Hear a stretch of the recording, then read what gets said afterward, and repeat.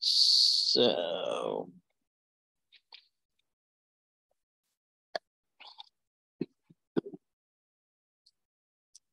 So, um, let's see. So we're, we're wrapping things up here pretty quickly. Um, I was planning on maybe spending a few minutes with the problem set four um, that I uh, um, that we just got back the other day. We could also talk about the test three from last week. I don't know if we need to go over that again or not. Um, but uh, but um, and then the the programming assignment as usual. So um, so oh, this just kind of a reminder for everybody. Looks like we got most everybody on or here now. Um, um, so I, I, said this in the announcement, but so be aware that the next week um, we actually end on Thursday, so it's a little bit shorter. Um, so I'm keeping the fifth uh, problem set and the fifth program assignment due on the Tuesday and Thursday, like normal next week. Uh, not to mention also, I guess Monday's like the July 4th, but uh, anyway. Um, but uh, but yeah, so the the test is going to be open like from Wednesday to Thursday for the test five. And that'll be um, our last three assignments. So so anyway, I just encourage everybody to keep that in mind. You know, you're gonna have a little bit less time. In fact, I'm to try to get. I'll make certain all that stuff is open here, uh, like tonight or tomorrow, so that uh, you know it'd be a good idea to get through test five and then maybe get started early uh, especially on the programming assignment. Uh, for a lot of people, probably need you know the time on that. Um, all right. Um, uh, any questions about kind of stuff coming up here or anything? What we're doing to wrap up?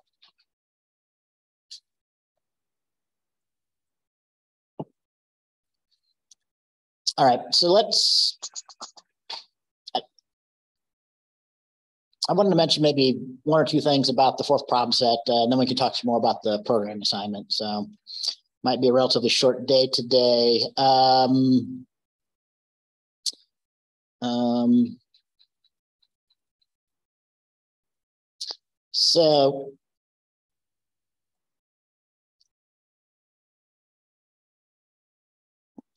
so there's some example discussions on here. I think I think the only thing I really wanted to say was, you know, uh, go back over the the page replacement algorithms again.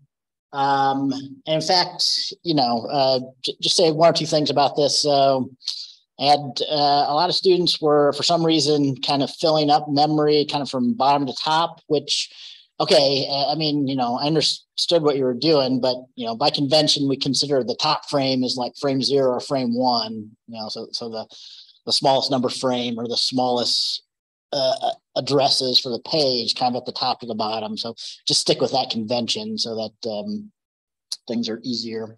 Uh, nobody nobody was using the, um, uh, the, the, this is kind of like a, a queue. So um, that's good. Uh, but but yeah, again, you know the, these things uh, when you do these by hand for the test uh, on Friday or Saturday, you know these are supposed to represent physical frames of memory. So, you know, it doesn't make sense that, um, you know, like for example, once memory is full here, um,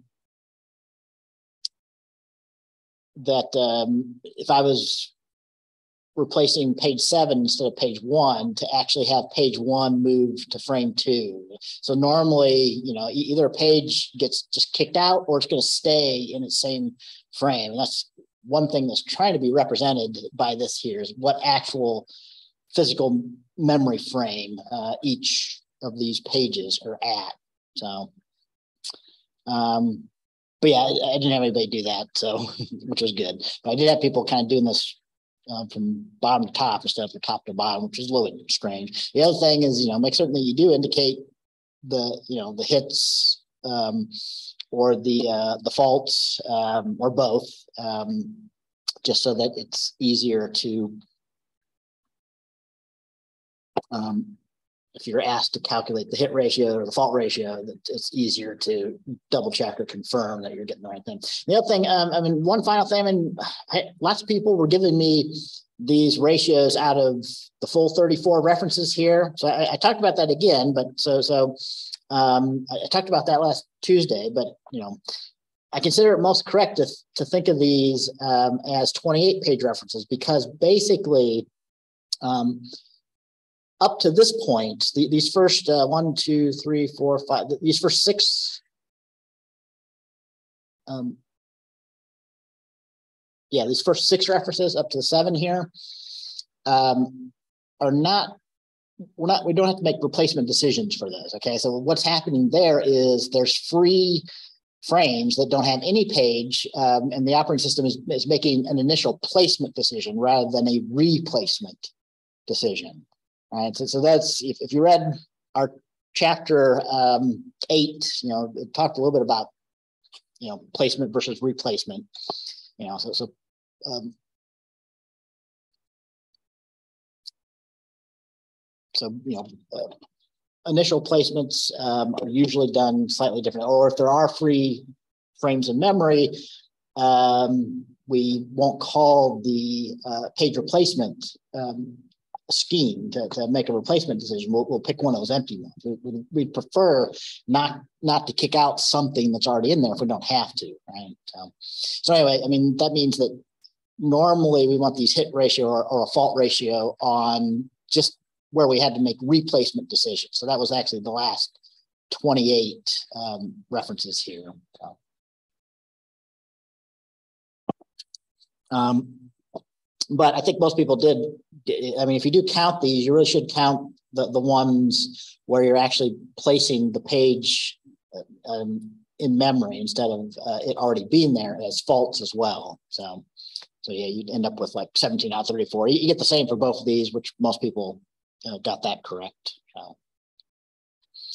Um, the other thing, so just um, that's that was mostly what I wanted to say about the page replacement. Um, um, although, you know, I also want to remind you, so make certain that, you know, just because you only had to do LRU and FIFO, make sure you can also do like optimal uh, and clock. In fact, I kind of maybe wanted to kind of step through this, but uh, maybe the first few here um, and talk about what would happen with the clock. Although, boy, I wish do on a whiteboard, but, um, um, but maybe I can talk through it here just because I'm, I'm mostly thinking about talking about implementing the, the clock uh, uh, replacement scheme um, for our assignment here uh, after I finish with the uh, problem set. Um, so anyway, I mean, you know, for example, you know, optimal. So for LRU, if you're doing this by hand, you kind of have to look back in time or back in history. So, you know, when we had the six here, which was where we had to make the first replacement decision, um, and again, most people had the LRU correct, except for maybe one person. Um, um, but yeah, if you go back, you know, so currently memory has 1027. So you want to find the page that was used least recently, the one furthest back in time. So, you know, seven was the most recently used, followed by one, uh, followed by two, and then zero would be the least recently used, right? So, I mean, that, that's just how you do least recently used. So uh, I just, I'm mentioning that because, you know, optimal is really kind of similar if you're doing this by hand. Uh, but um, uh, you really you need to look uh, into the future, right? So the goal for optimal page replacement is I want to replace the page that's going to not be needed for the longest amount of time, and that will lead to um, um, an optimal solution, right? And yeah, nothing, I mean, everybody should know why it's optimal or what we mean by optimal in this context. It's optimal in the sense that the optimal page replacement scheme will guarantee that it has the smallest number of page faults. Um, that's kind of a big deal uh, for the page replacement policies for operating systems. Um, page faults take time because because you have to potentially if if the page is dirty that you want to replace, you have to first write it out, and then then you have to load the page uh, that you need uh, from um, from secondary storage. Both of those are, are uh, need to be done from a hard drive or some sort of secondary storage, which is going to be much much slower than uh, you know normal uh, than than accessing main memory or the CPU, right? Um, so you want to minimize page faults. You want to have try to keep them as few as possible, right? So, you know, so for for optimal, if, if we had this page fault for the six, you would instead, you know, look for the one zero two seven pages, but you would uh, look into the future, see which page in, in, which frame you don't need for the longest amount of time. And if you replace that one, you're ga- guaranteed to end up with the minimal amount of page faults, right? So in this case, you know, just looking at this single um, first fault that we had here, you know, we have seven U's followed by zero, followed by one. So you, you, would want to select the uh, two to kick out in that case to get an optimal decision. So we didn't quite make an optimal decision by kicking out zero um, because uh, it's used before page two. So. All right. And and have, hopefully everybody kind of knows, uh, you know, why. So so you know we've got uh, an algorithm that would guarantee to, to minimize page fault. So why didn't operating systems use that algorithm, right? Um, and uh, I mean, it's basically because, you know, optimal, um, an optimal strategy is not possible for real systems because you, you, you optimal requires you to, to be able to know the future, to, to know what pages are going to be requested or needed in the future. And uh, you're not going to be able to know that. Not, not to be able to see the so so optimal you can really only do that for simulations or kind of after the fact to see what might have been the optimal uh, replacement decision for some sequence of page references. All right. Um, and then again, you know, I encourage people, you know, don't uh, for these written questions, especially if I'm asking for a discussion, don't give me like just a, a small sentence. I mean, try and actually um, uh, make an argument and defend it and um, um answer in a little bit more depth, kind of the questions that are asked there. Um, all right, and then kind of finally to, to, to jump off here, uh, unless anybody wants to ask a question about one of the other problems for the problem set. But um, um, let me talk a little bit about clock. So you should also, you know, be prepared. There might be, you might have to do some clock, um, uh, some some clock algorithms on our test uh, uh, test four here on Friday or Saturday. So you know, again for this page reference scheme, you know, the way clock works is it, it's it's kind of a combination of FIFO. So maybe I'll bring up the FIFO here. So it's kind of a combination of FIFO and um, um, with a little bit of extra information. So by add, we need to add in this uh, use bit. So every frame will have a use bit that's either true or false that the page, and, and it's called a use bit because it means uh, has the page been used recently. So if it's true, um, there's reason to believe it's been used relatively recently, and if it's false um, or zero, if we're using one and zero, um, it hasn't been used all that recently. That's kind of what the use bit is supposed to represent, right? So initially, when you load pages, you're supposed to set all the use bits to be true. They've been used pages. So for all these initial loads, up to this point, if we were doing a clock algorithm, all the use bits would be one but we would also have a frame pointer, uh, just like we had for FIFO. And I just realized I should have shown the frame pointer. So it'd be good if you do FIFO on the test to actually show where your frame pointer is, right? So after we, we loaded page seven, uh, placed page seven into frame four, the frame pointer wrapped back around to frame one. So for our first page fault, the frame pointer uh, would be pointing to page one for FIFO and for a clock algorithm. So for the clock algorithm, I, I, discussed this a little bit. This is what you have to implement um, for the assignment due today. Um, again, remember, so all these use bits are set to one. So basically, uh, in words, the clock algorithm is mod a modification of FIFO that you don't select the page where the page, where the frame pointer is pointing to. So you don't select the frame one, which is where our frame pointer is pointing to uh, at this point here when, when we have this page fault for page six. Uh, you first scan memory to try to find a use bit that's set to zero. And while you're doing that scanning, uh, you flip the use bit, any use bit that's one, you don't stop there. You flip to zero, but then you check the next page. So, so basically, you're, you're, scanning through here, trying to find a use bit that's zero. So if all these use bits are one, you, you would end up, you know, not selecting frame one, flip its use bit to zero, not selecting frame two, select set its use bit to zero. Uh, frame three would, would use bit to zero, frame four go to zero. You would wrap back around, and then you know since we started there, um, its use bit is zero now. So we wrap back around, and that so we would end up making the same replacement decision that we did for FIFO here for the clock. Right. The difference being though that now when we when we load in the page six, its use bit is set to one, but all these others we just flip them to zero. Okay, so there that's an indication that they're kind of been used less recently than this page that we just loaded in and has its use bit set to one. Right. Um, so yeah, so we would have the same hit and hit here, uh, and then for this one, oh, and remember, oh, the other thing is that since I've replaced frame one, the frame pointer should be pointing to frame two, um, like uh, same same as FIFO. So, so when you select the page to be replaced, the frame pointer should be pointing to the next one for the next replacement decision. So for our next fault, uh, yeah, I mean, this use bit is one, so we would end up still the same here for the clock. So we would just bring in page one, its use bit would be set to one, and our frame pointer would be pointing to frame three here.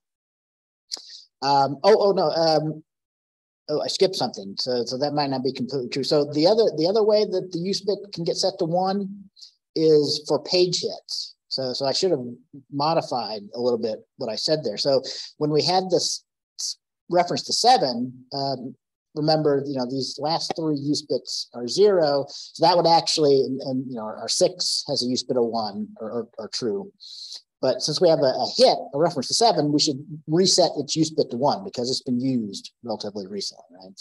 And, and yeah, actually, this is going to modify uh, what happens here because the same thing would happen for the reference to page zero.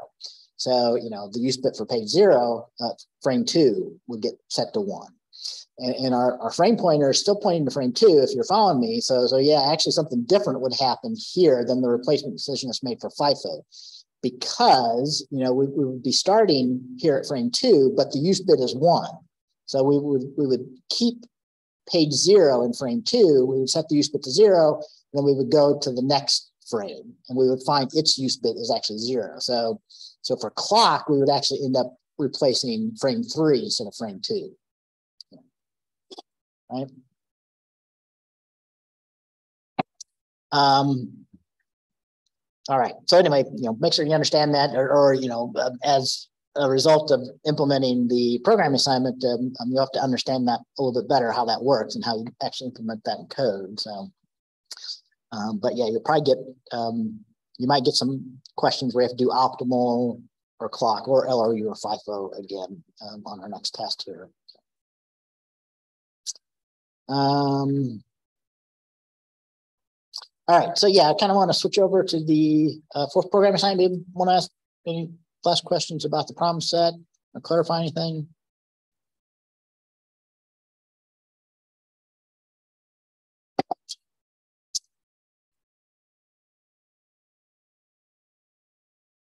Okay, so let's see, I haven't started up my dev box yet, so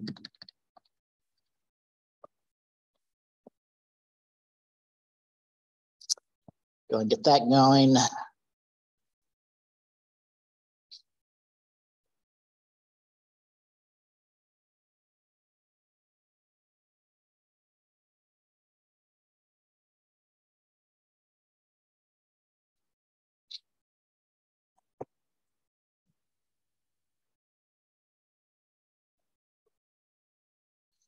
So um,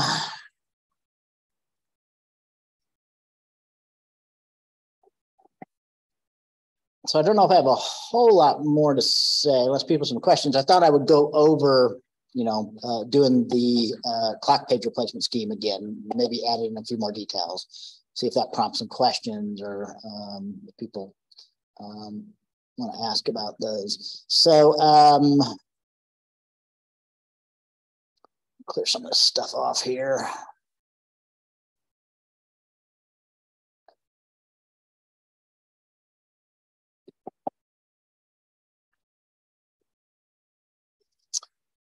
Um, let me just make certain everything's still building here.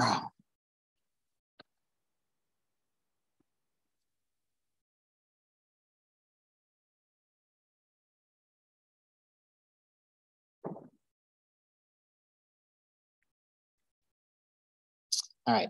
So um,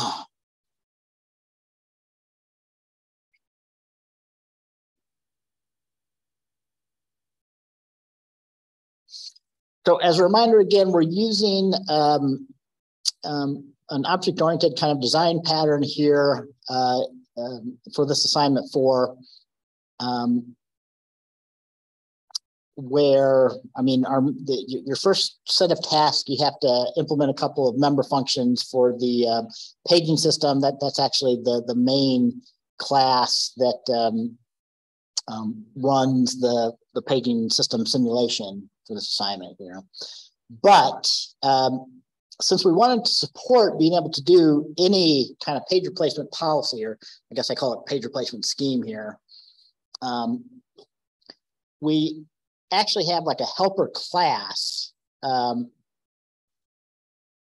and if you look in the uh, paging system, the member variables, so we've got things like memory size and uh, an array to hold the, the current frames of memory to simulate, you know, keeping track of which page is in which frame of memory. Um, another array to hold the actual history, you know, the, the, the page reference sequence that we're supposed to simulate. Uh, but uh, down here, though, there's a pointer to a page replacement scheme. Okay, so so you know, um, as I talked about before, I mean, basically, the way the page system works is anytime it needs to make a page replacement decision, uh, it calls one of the um, API methods of its page replacement scheme, right? So just by simply instantiating a different type of replacement policy, placement scheme, we will get different page replacement behaviors, right? So, you know, if, if we instantiate a FIFO page replacement scheme, if it implements first in, first out correctly, uh, whenever we ask it to make a replacement decision, it'll make FIFO replacement decisions. So, um, so um, you know the way that works, um, the um, like for example, real quickly, if you look at the make replacement decision function, so this is this is called in the main loop where we're you know reading the next page reference, determining if it's a page fault or a page hit, um, and if it's a page fault, and memory is full, this ultimately ends up calling the make replacement decision to figure out which frame should should be kicked out uh, to replace with the, the new page of his reference, and that just had a fault. Right? So in that context, so you know the way then that we leave it up to our helper class is we simply call one of the member methods, the, the make replacement decision. That returns a frame number, um, and that will be the, the frame number that, that the simulation um, chooses for replacement um, in the main loop uh, of our simulation. So, um, just as another um,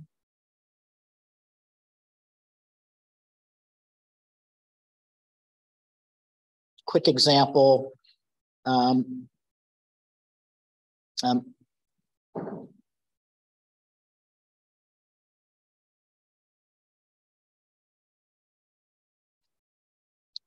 we um, call the you know page hit method for the uh, replacement scheme. Um, some here, whenever we determine that a page hit has occurred. Um,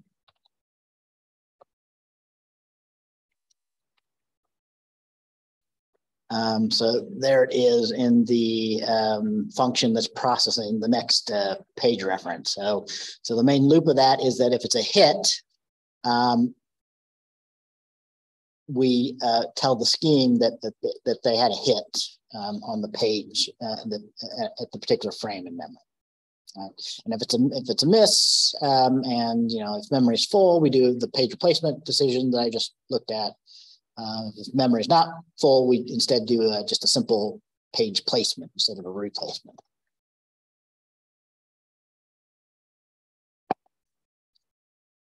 All right. Um, so so let's see if anybody has any questions then about implementing the last four or five tasks for the clock page replacement scheme. So, um, so again, you know, if, if you haven't done a lot of stuff with, you know, defining object hierarchies, doing object-oriented programming. This is this is a fairly straightforward example of a class hierarchy. So we define a base class. Um, this is actually an abstract base class. So in C++, uh, what we mean by abstract is, is you can't actually instantiate a page replacement scheme object. It's the parent of the hierarchy here, right? It's not actually implementing a particular policy. It's really defining an interface so that the actual policies uh, will have to implement these actual methods in order to, you know, um, um, define a particular replacement policy or replacement scheme. Um, so our, our interfaces, you know, the main ones is that uh, the that make replacement decision function that we looked at, um, and the uh, you know you got to do something for page hit or some some replacement policies have to know if, if a hit occurs uh, in order to keep track of that. And you actually have to know if a hit occurs for the clock page replacement uh, policy because you have to set the use bit to one for the page that had a hit because it, it was used recently. Um, but yeah, you actually end up having to implement all four of these methods here. Um, so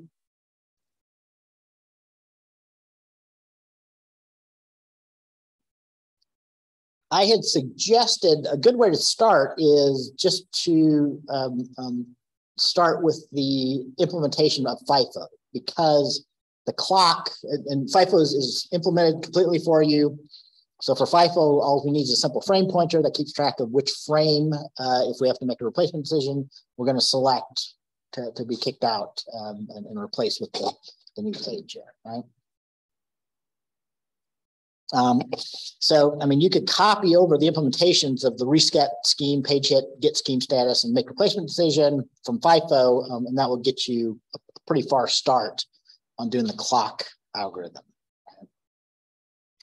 Um, but what you'll need in addition for the clock algorithm um, is you'll need uh, another array of um, uh, of either Boolean values or integer values. You know, to me, it makes more sense that they're Boolean values, but uh, because basically it's it's it's a, a true or false. It's it's a one bit of information, right? So this this array needs to be able to be big enough so whatever the memory size is, you know, and you can get that from um, from the paging system object.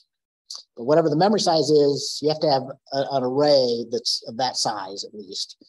Uh, and that array should be initialized so that all the use bits are, um, um, well, it depends on how you do it. But, uh, but yeah, I mean, initially memory is going to be empty. So all the use bits really don't have a meaning until there's a frame, uh, until there's a page loaded into the frame. Um, but um, uh, whenever you load, uh, you know, whenever you uh, place or replace a new page, its frame number should be set to one. Uh, but yeah, now that I'm thinking about it a little bit, the uh, these replacement schemes don't get told about the initial placement. So probably it's safe to assume that uh, memory is full when you have to make the first replacement decision. So all of the initial use bits should be set to one or true.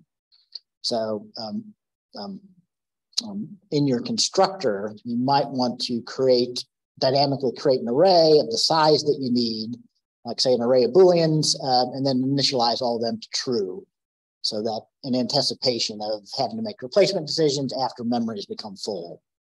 Right.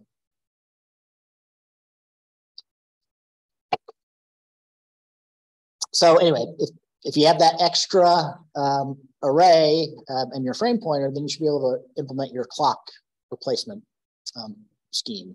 So, um, but I'll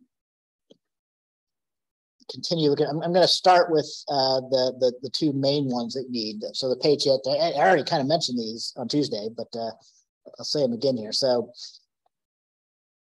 for FIFO page replacement, FIFO doesn't do anything with page hits, right? So so when you look at the implementation of FIFO, um, it's just a, a null function. Doesn't do anything.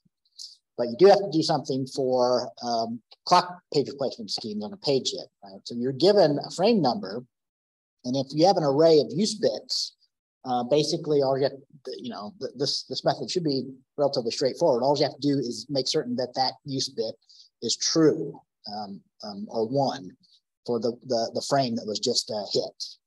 right? So that's really all that's going to happen for the, the, the clock uh, page replacement uh, page hit function. Um, and then likewise, you know, this is a kind of uh, a good starting point for what you would have to do for the make replacement decision for the clock. But you know, again, uh, the, it's, it's, it's a bit more complicated for the clock, right? So, so, so for FIFO, whatever the frame pointer is pointing to, that's the page that gets, that's the frame that gets selected to be replaced, right? So before you do kind of this code that's in the make replacement decision on FIFO, you first have to kind of scan memory, like I was describing for clock. So you have to have a loop in there that starts where the current frame pointer is pointed to. Uh, and that loop should keep going as long as the use bit um, is um, true, right? So if, if, the, the frame that's being pointed to has the use bit of true or one, uh, you need to flip the use bit to zero uh, and then increase the frame pointer uh, and, and, check the next one, making certain again that you wrap around. So you have to treat the, your memory frames as a circular buffer, right? So if, if you check the, the last frame, physical frame of memory, um, and uh, it's not uh, its use bit uh, is one. You have to wrap back around to frame zero, back to the top of the memory, um, and keep scanning. All right, that that makes sense. So I mean, the only only other things to be careful of is you know you do make certain that um, uh, like is done here. You want to make certain that the frame pointer is is set for the next replacement decision that's called. So it should be pointing to the uh, frame after the one you're going to return to be replaced, right? But of course, you, you have to reset the frame pointer before you do your return statement. So, so you have to you know, make certain you do that correctly. Right? So you have to, to know which frame you're going to say needs to be replaced, but, but um, um, before you return that, you have to make certain that the frame pointer is pointing to the next frame there. Um,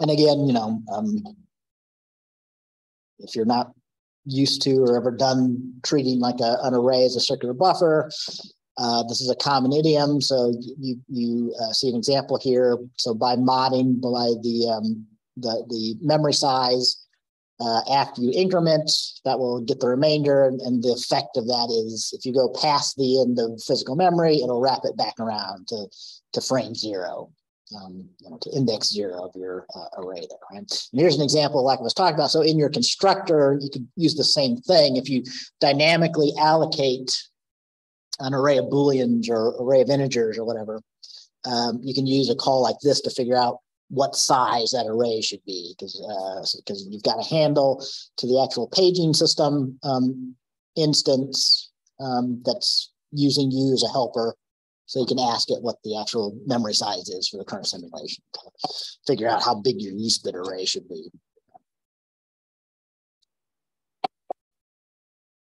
Um,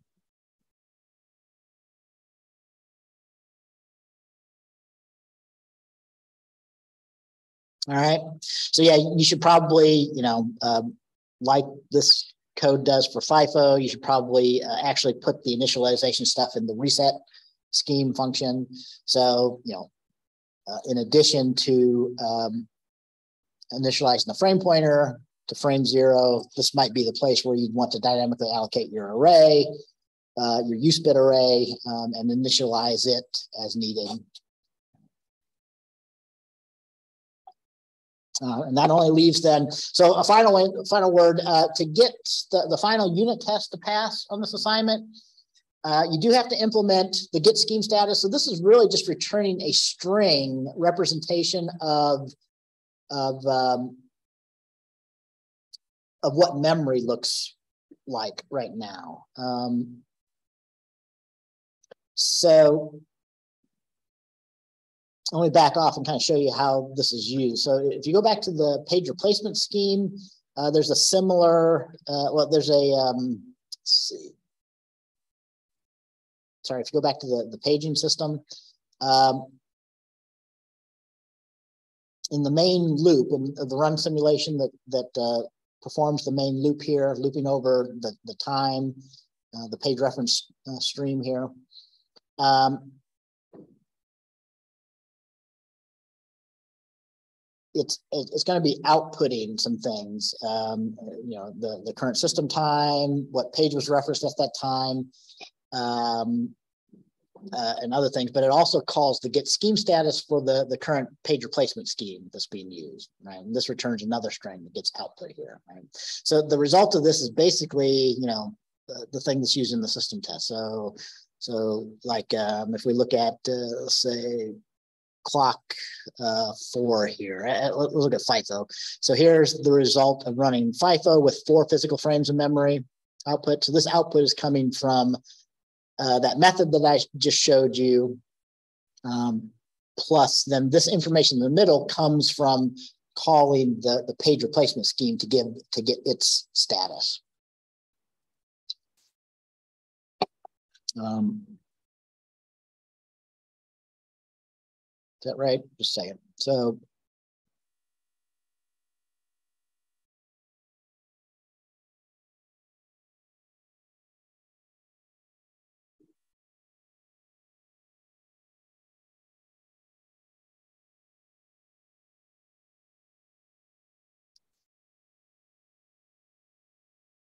so yeah, I mean, you know, the, the, the, stuff like the system time and stuff, and then the calculation of the hit ratios and the fault ratio and stuff. Um,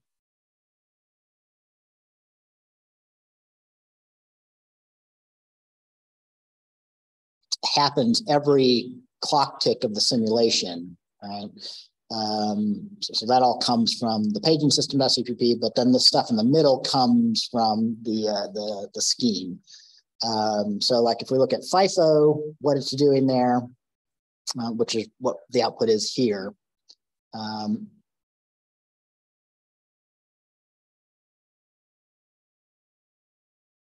So you'll be able to use most of this here. So let me just tell you the differences for clock, right? So um, so for FIFO, basically when we're asked, we we basically are just displaying the contents of all the frames. Um, and then we also uh, show where the frame pointer is pointing for our FIFO um, algorithm. So um,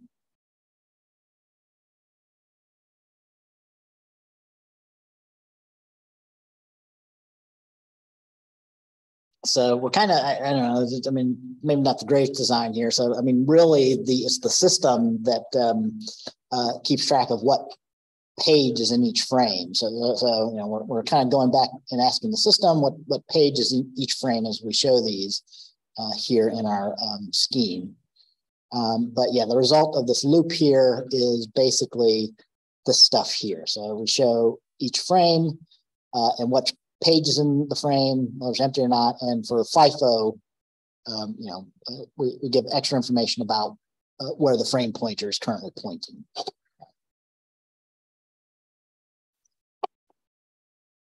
Um,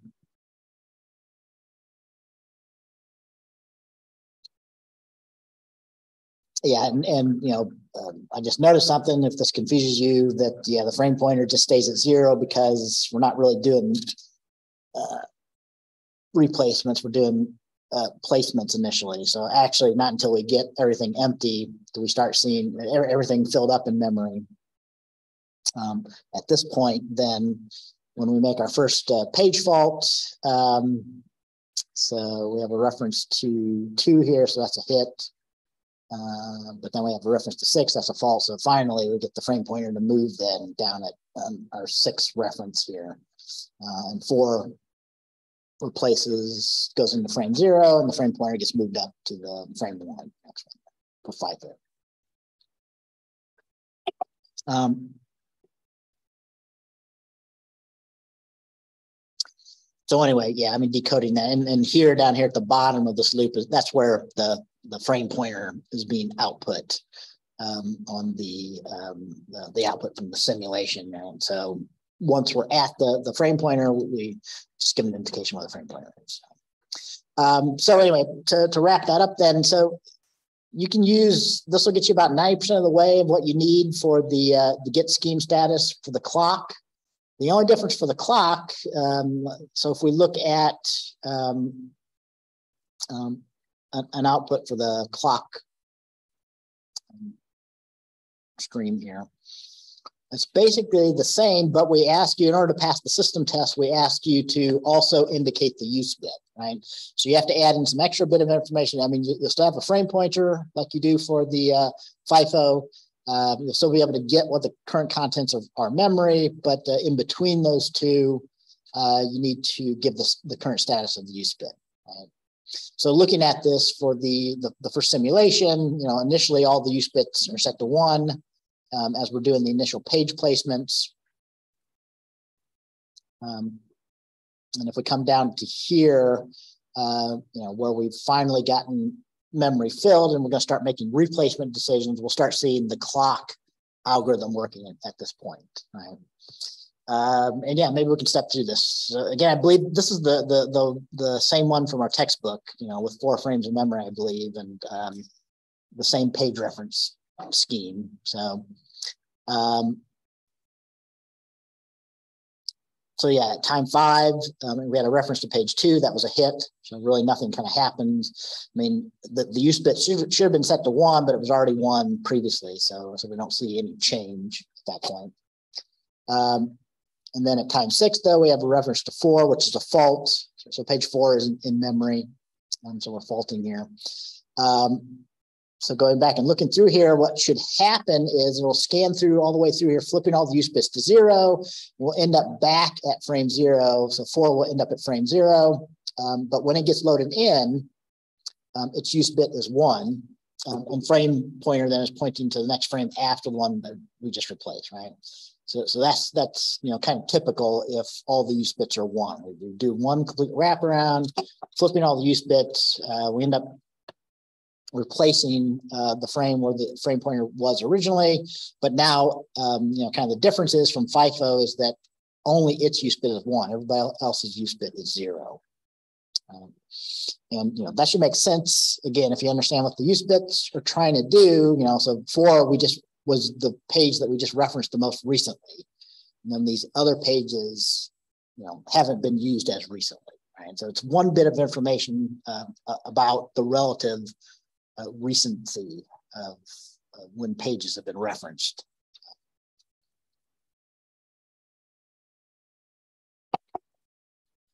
Um,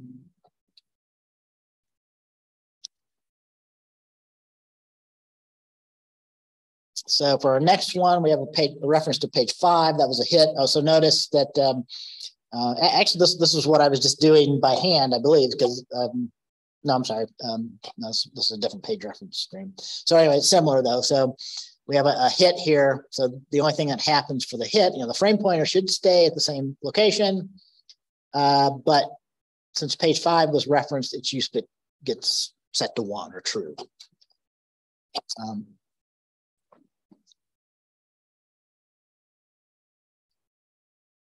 in our next step, we have another hit. So we end up setting the use bit to, to one for um, the page three here in frame one. Um, and then for the next one, um, referring to page two, that's a, a, fault. So here, given the frame pointer, we're not going to select frame one um, to be kicked out because this use bit is one. So we'll flip its use bit to zero, keep scanning. Um, and so the first frame that we find with the use bit of zero um, is the, uh, the frame two. So it will get selected to be kicked out. Uh, frame page two will be loaded to frame two, um, and uh, its bit is set to one um, because of the initial load. Uh, and and you know also don't forget yeah the frame pointer should be pointing to the frame after the one that we just um, um, replaced there. All right. Okay, and uh, yeah, I don't think I'll go keep going through those anymore, but um, um, the the kind of what got me into this though. So the only really difference that you need for the um, the status, the the the, the get scheme status, um, is for the clock is showing what the use bits are in addition to the other information that you had for FIFO.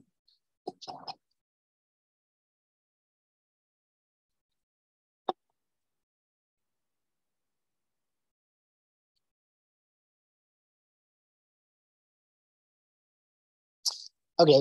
Um,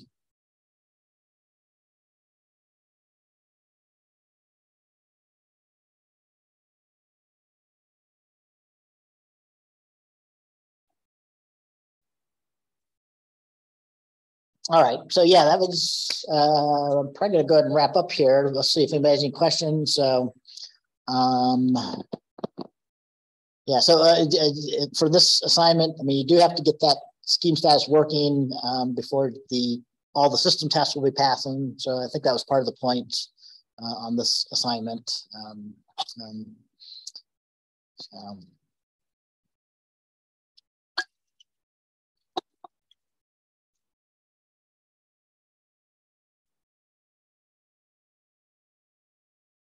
Okay, so does anybody want to ask a question here, or should we go ahead and wrap up? Nope.